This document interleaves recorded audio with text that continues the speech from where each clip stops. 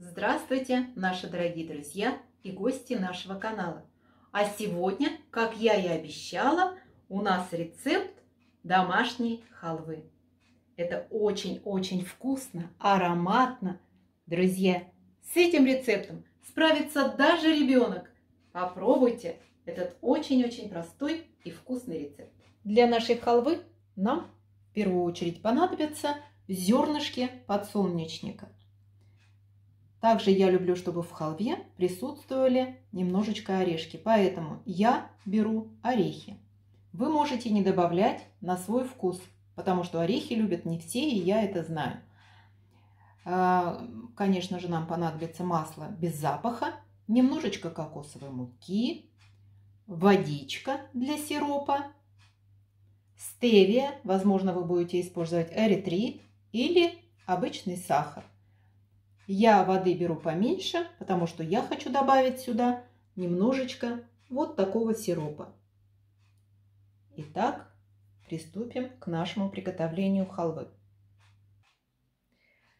Эм, семечки нам нужно обжарить. Мы их можем обжарить, конечно же, и на сухой сковороде, и как я, например, я хочу просто пожарить в аэрогриле, чтобы не стоять и не, не помешивать эти семечки. Просто высыпаю их вот сюда, ставлю их в аэрогриль, и они там прекрасно себе поджарятся. Итак, посмотрим, что с нашими семечками. Так, еще рановато. Они должны поджариться до румяности. Семечки, самое главное, не пережарить, чтобы они не подгорели. Вот до такого вот румяного состояния этого будет вполне достаточно. Они уже маслянистые, хорошие, вкусные. Пробуйте на вкус. Готовые зернышки я пересыпала в тарелку, чтобы они немножечко остыли. И будем перебивать их в блендере.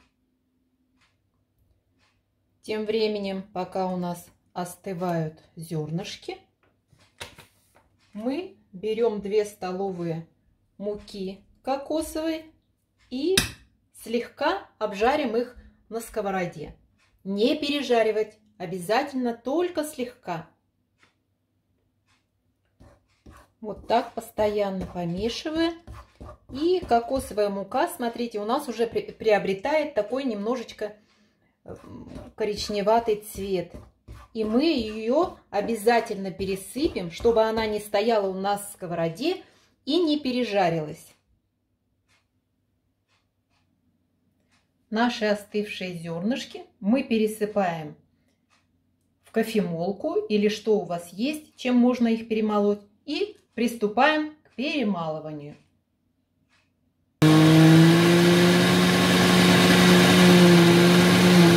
Смотрите, они уже как перемололись. Мы сейчас включим их еще немножечко.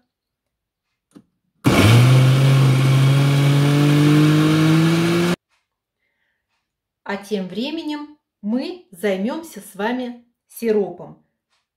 Вот я подогрела тепленькую водичку. Берем водичку, наливаем ее, добавляем сюда стевии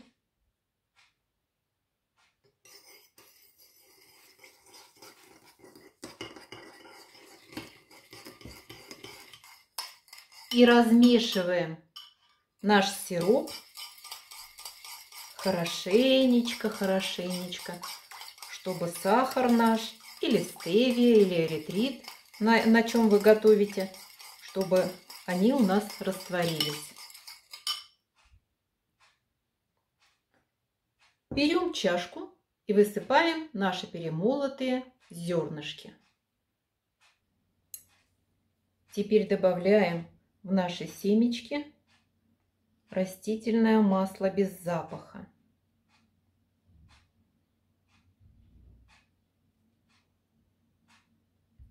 И все это хорошо перемешиваем.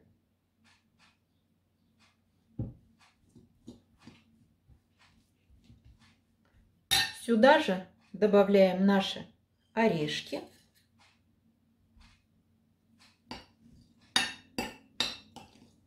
И перемешиваем всю нашу массу.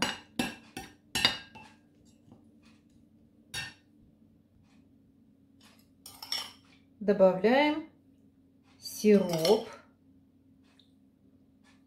и нашу массу хорошенечко перемешиваем. И смотрим, чтобы она у нас не была жидкой. Постепенно добавляем наш сироп и перемешиваем. Сиропа я добавила мало, как я вам уже говорила. И я хочу сюда добавить еще вот такой вот сироп. Это кето-сироп специальный. Кто меня давно смотрит, тут знает уже, я его уже показывала. Вот примерно у нас получается вот такая масса. Она у нас не жидкая и не густая. И в этот момент уже можем мы добавить кокосовую муку, которую мы с вами уже обжарили. И все это вместе перемешать. Практически наша с вами халва уже готова. Сейчас мы ее хорошенечко перемешаем и приступим к завершающему этапу приготовления. Ну и, конечно же, в эту халву вы можете добавлять все, что угодно. Можете, э, конечно, добавить и шоколад, если вам это нравится. Так как сейчас мы знаем, уже у нас халва бывает и в шоколадной оболочке, и какие только угодно. Я добавляю просто орешки. Теперь нам понадобится любой контейнер, который есть у вас, и пищевая пленка. Устилаем наш контейнер пищевой пленкой и будем выкладывать туда нашу халву. Наш контейнер мы устелили и теперь выкладываем нашу массу. Если хотите, друзья, можно растопить шоколад, вылить его сюда тоненьким слоем и чуть-чуть подморозить и следом выложить нашу халву. И тогда халва будет у нас шоколадная. Но мы сделаем обычную нормальную халву, как из нашего детства. Выкладываем ее, разравниваем аккуратненько в контейнере и отправим ее остужаться. Вот так упаковали нашу халву хорошенечко. И отправим ее как минимум на час в холодильник. И затем достанем и будем ее нарезать. Ну что, друзья, наша халва пробыла один час в холодильнике. И мы ее будем сейчас с вами нарезать.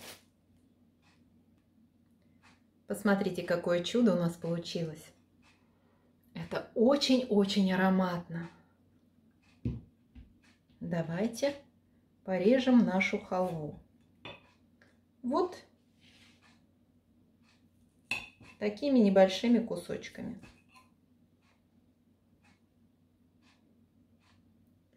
Ну вот, такая у нас с вами получилась очень вкусная, аппетитная и ароматная халва. Ну а вы, друзья, подписывайтесь, ставьте лайки и будьте с нами, друзья. У нас очень-очень много вкусных рецептов. Попробуйте нашу халву.